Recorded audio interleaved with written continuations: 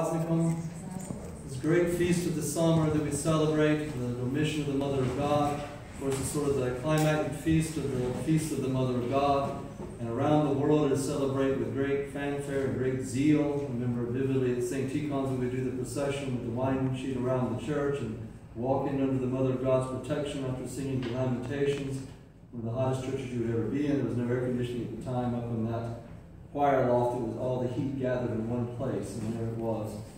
So, but it was worth it because there was much grace, and you could feel that grace. It was worth bearing that no matter what the struggle was. And that is exactly what the Mother of God did throughout her life. She bore whatever the trials were, whatever the difficulties were.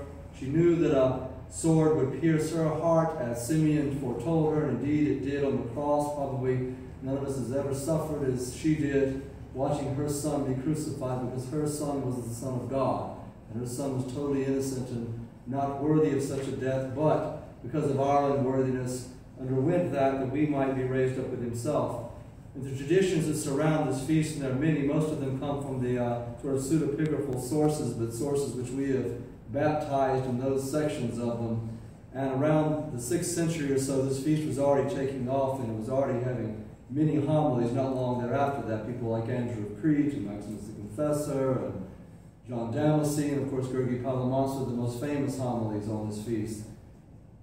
But one of the stories that comes about is that when the apostles were translated through the air there, because the Mother of God desired to see them one last time before her death, Paul being one of them, which is in the icon, Paul is standing there, there and he says to her, basically, rejoice and how happy he is because even though I do not see Christ in the flesh, I see him in you, in the person of you. And there's nothing wrong with this statement because it is indeed in her that we do see her son, because she lived the life that we are called to live. This is a, another feast of the human person, as I talked about a few weeks ago, because this is our destiny as well. Indeed, we are all called to be God bearers, as Simeon the new theologian says, we are called to be Theotoki. But yet there's only one Theotokos, who ever bore Christ in her womb and ever will bear Christ in her womb was worthy of that. She that gave that definitive yes to God from the beginning and followed his will and followed his commandments and was the first to hear that message of the gospel and the first, according to many of the fathers, to hear the message of the resurrection that it had taken place. So the Mother of God became that vessel by which many saw her Son, saw Christ, and praying for us not only in that, but in her presence on earth, the way she lived, in her humility, in her meekness, in her quietness, in bearing these things, uh, her way of life proclaiming Christ. And that is what we are too called to be, to proclaim Christ through our lives, to be transparent to that way of Christ. When we walk in Christ, the living in Christ, Christ shines forth through our hearts as he's shown forth in the Mother of God, because she is that radiant. When you read the Akathist to the Mother of God, which as our bishop says is the most sublime expression of theology probably written in any Orthodox hymnography, Every verse of it has to do with Christ. Every single verse makes no sense without Christ. As our beloved Archbishop Dimitri used to always say, that the question is, who do you say that I am? And the rest of it makes sense.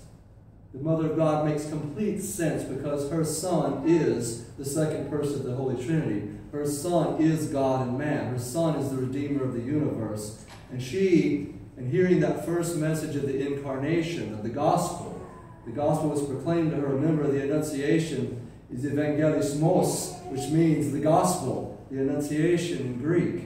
And that message she took forth and said, May it be unto me according to thy word, and lived that way. When she had lived this way for many years after her son's death, living with the Apostle John, being all of our mother in that person, she was appeared to again by the archangel Gabriel and said that it was time for her to repose. And no, she didn't weep over this. The first thing she does is go out to the Mount of Olives to pray. A good example for us. When we have a crisis coming in our life, we go out to pray. And she was given a palm branch to be carried at her funeral procession. And they, this was given, of course, to the apostles afterwards, and they carried this. But this is also an image of her son, who in palm branches was foreshadowing his death, but also his victory over death in his entry into Jerusalem. And here is her victory over death as well in her son, because she has that symbol of victory as well. In the icon, we see also this famous story of Aphthonius, this Jewish man who was audacious enough, as I said, the audacious hands we just heard, to reach up and try to tip over the bier of the Mother of God. But in doing this, his hands were mystically severed at that point. And he cries out, of course, in grief. And the Apostle Peter heals him at this point through the prayers of the Mother of God and the person of her Son. And he becomes a great Christian in this. So this is not some audacious and horrible act by the church. This is a glorious act because sometimes difficulties are what it takes, well, always difficulties are what it takes to bring us to salvation. And the Lord chastises those whom he loves. In the end, though, of course, we know in this story, the Tom, Thomas in the tradition was late in arriving, and he wanted to see for himself that she had reposed. It was hard for him to believe. And he goes to the tomb, is open, and there the winding sheet is in the same position that it was left, but no body.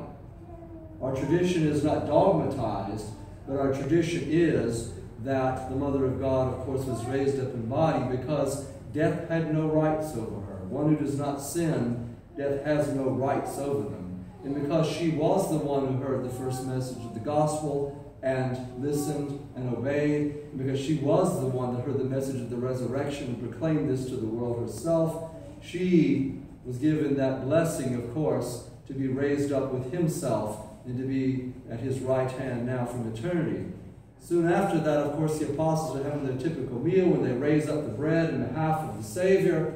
At that point, she appears to them and tells them, Rejoice, that her prayers are still with them. And this is the origin of a service that you will see in many monasteries called the Panagia service, the All Holy service, in which the Mother of God is honored in that piece of bread at the end of the trapeza and handed out to the faithful. Some of you have probably seen this in monasteries. There's a wonderful tradition which comes, of course, from this Feast of the Dormition. In the Mother of God being raised up, we too see an image of ourselves. We are not called to be subject to death for eternity. Death is not natural. Death is wrong. And because that part of us that bears that image and likeness of God is so real, when we come to ourselves, when we find Christ, we realize that this is unacceptable. Death is completely unacceptable in our lives. We must live in that way that we remember death, but we fight actively to be immortal from now, to live as if today was our last, and to live that we would live with Christ in eternity because as his mother did, and following that word, we too will be raised up with himself. Most holy Theotokos, save us.